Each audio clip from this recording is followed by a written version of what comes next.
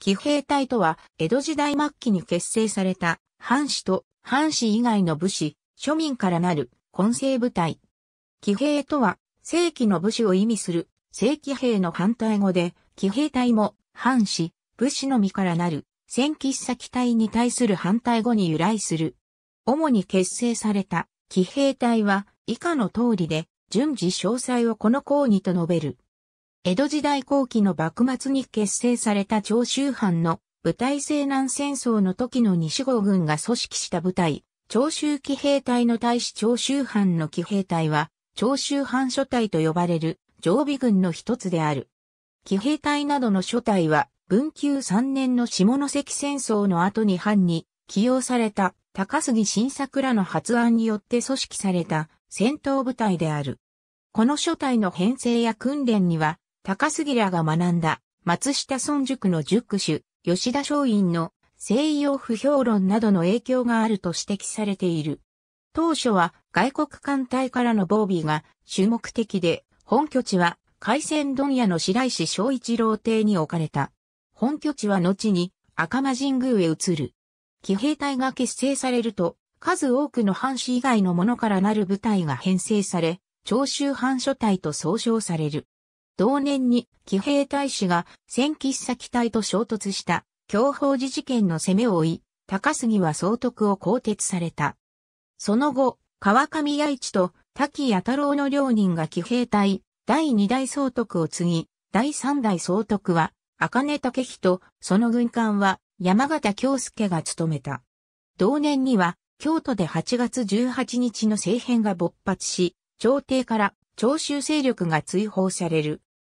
翌元治元年、新選組に捕らえられ拷問されていた古高俊太郎を救済するため池田屋に集まっていた各地の志士たちが、当の新選組、会津藩、桑名藩によって突如襲撃された池田屋事件により、長州藩では吉田敏丸、杉山松助ら11名が犠牲となったため、長州藩では卒兵上京してでも朝廷の誤解を解くべきという苦島又兵衛らの勢力を抑えられなくなった。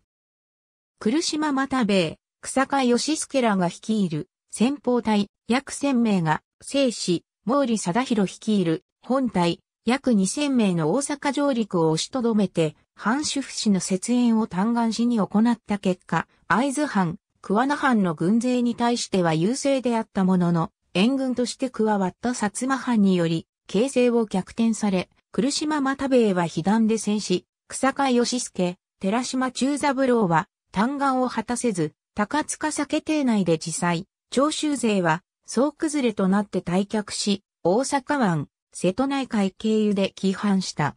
この金門の変により、長州藩は禁利を犯したとして、朝敵とされた。幕府は、朝敵とした長州藩を、さらに征伐するため、第一次長州征伐を宣言する。長州藩は三家老自祭により、第一次長州征伐の戦果を未然に防いだものの、無垢なし東田、野見織江などの俗論派政権が、長州正義派の志士たちを粛清し始めたため、それを聞きつけた高杉晋作が亡命中であったにもかかわらず規範し、初代に決起を求め、高山寺挙兵を決行し、江戸の海戦等で高杉ら正義派が勝利して、俗論派を一掃し、長州藩の主導権を握った。これらの結果、長州藩の方針は、早く上位、倒幕に定まる。翌、元治2年、幕府によって、再び第二次長州征伐が行われたものの、木戸孝義、大村益次郎、高杉晋作、山田昭義の指揮のもと、騎兵隊他諸隊が幕府軍を圧倒し、江戸幕府に完全勝利した。第15代将軍、徳川義信の名城として、長州藩と講和するため、秋までやってきた幕閣は、後に、明治政府で参議の一人となる、勝林太郎であった。慶応2年1月21日、長州藩は、薩摩藩と倒幕、長州節縁の方針で、薩長同盟を締結する。慶応3年10月14日、大政奉還。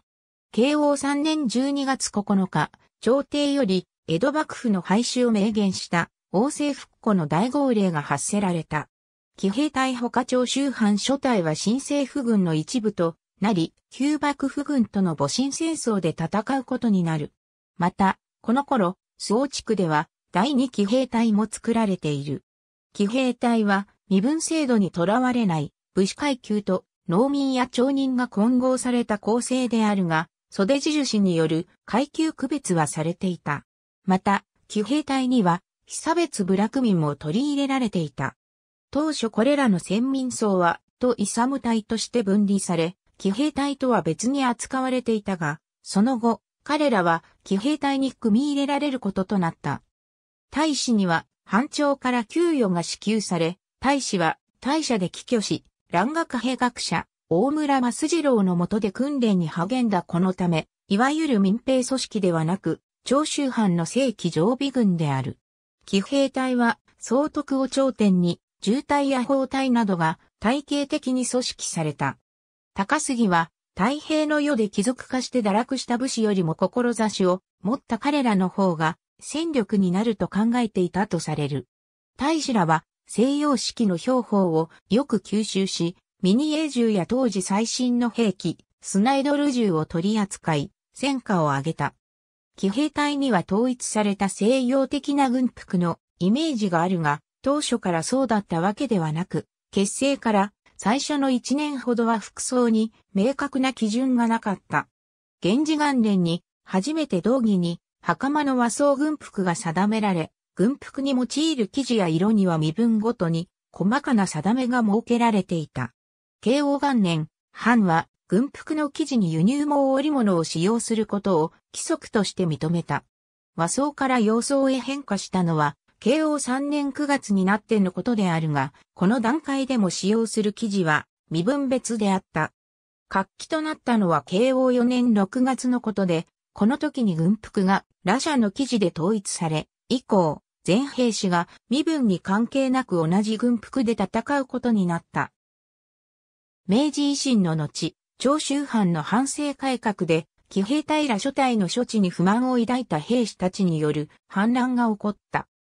西南戦争の時に、高瀬、田原の戦いに敗れ熊本城の包囲を解いて、矢部浜町に退却した西郷隆盛の軍が大隊を中隊に編成返した時に作られた部隊で、隊長、野村押助、総軍官を佐藤32、帯の小倉諸兵、佐賀の乱の生き残りで西郷軍に合流した石井武之助が務めた。文後国に進出し、西南戦争の中期、後期に活躍した。ありがとうございます。